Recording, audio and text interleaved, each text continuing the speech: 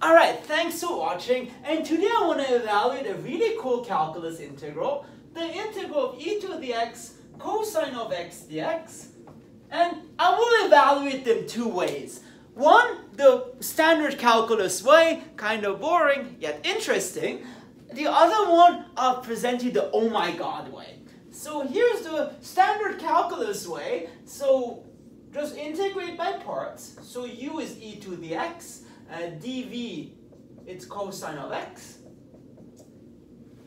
It's either du or v, I, I forgot the, uh, uh, the order. And then du, it's e to the x, and then anti-differentiate, v is sine of x. And then you go through the zigzag motion. So this becomes e to the x sine of x minus integral of e to the x sine of x. And you're like, oh my god, why did you take this easy integral, turn it into an integral of the same type? Don't worry, you are calculus students. You're not scared. Or maybe you're, you're more than calculus students and you're very scared. But don't worry. I will give you hope. Because, let's do this again. So now u is e to the x, and du, or dv, it's sine of x. Then du is e to the x, and v is minus cosine of x. If you want, you can also put this minus here and becomes cosine of x. But then you go through the zigzag motion, which is uh, like this, okay? then what you get, you have the e to the x sine of x minus, I write it this way, it's very important, we have, so you go this way, so minus e to the x cosine of x minus integral of e to the x minus cosine of x dx. So be really careful. There are here three minuses at play, but then what you get is integral e to the x cosine of x dx becomes e to the x sine of x plus e to the x cosine of x minus integral of e to the x cosine of x dx. And you're like, oh my god, this is a problem because we started with an integral, we turned up with the same integral. But here's a cool, cool thing. So cool. Um, namely, we can now solve for unknown. You treat the integral as an unknown and you solve for it. So this equals to junk minus this. So if you solve for it, you get the following. You get 2 integral e to the x cosine of x dx equals e to the x, if you want, sine of x plus cosine of x. And just dividing by 2, you get integral of e to the x cosine of x equals 1 half of that. So e to the x, if want sine of x, plus cosine of x over 2. Wow! How neat is that? So you might be impressed, but let me show you now the cool way, the oh my god way.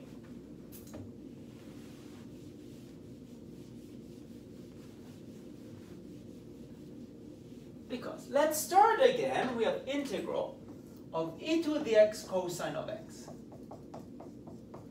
But instead of doing that, we'll solve something harder, or easier or harder, depending on you how you feel.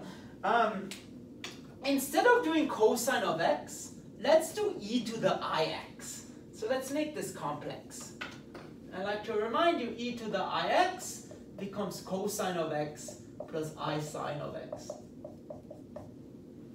Because what's beautiful is, this becomes e to the x plus ix dx. And that's integral of e to the 1 plus i x dx. Oh no, I think I forgot about the constants. I'm so sorry if you're watching. No. Um.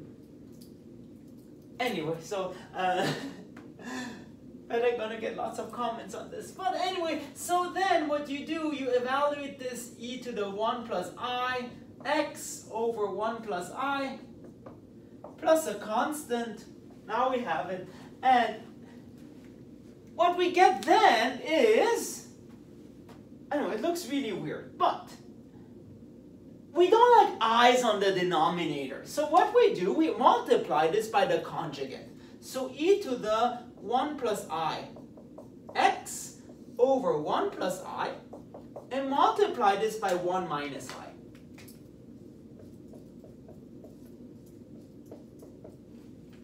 And the nice thing is we get something neat because we have e to the 1 plus i x and then times 1 minus i. And this becomes like a squared minus b squared, but here i squared is minus 1, so you get 1 minus minus 1, so you get 2. And then you just got to evaluate this. So this becomes e to the x, e to the ix times 1 minus i over 2.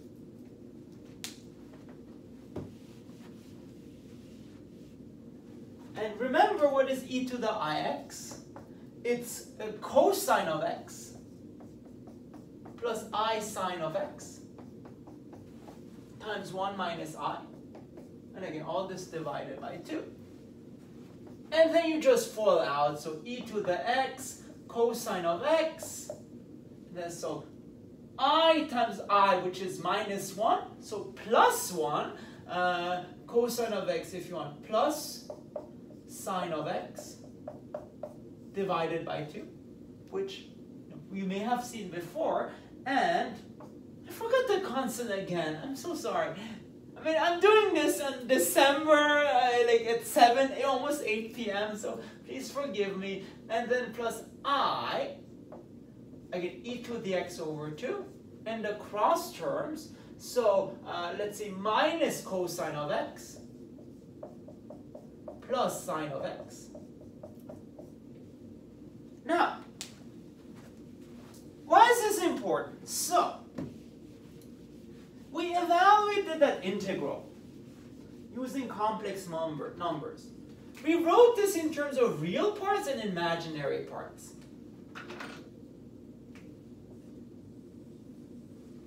But now, also write this integral into real parts and imaginary parts. So integral of e to the x, e to the x, uh, sorry, cosine of x plus i sine of x.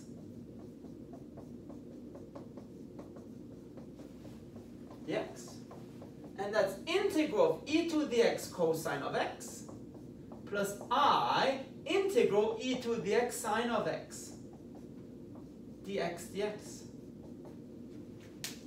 And now compare. The real part of this has to be the real part of this. The imaginary part of this has to be the imaginary part of this. So just comparing, we actually get two integrals at once. Integral e to the x cosine of x dx equals uh, 1 half e to the x cosine of x plus sine of x. Plus some constant if you want. And in fact, integral of e to the x sine of x dx becomes 1 half e to the x, if you want sine of x minus cosine of x, plus a constant. Wow, two at one. Can you imagine? Yeah, that's how cool math is. So make sure to take lots of math. You'll learn more cool stuff like that. All right, I hope you like this. If you want to see more math, please make sure to subscribe to my channel. Thank you very much.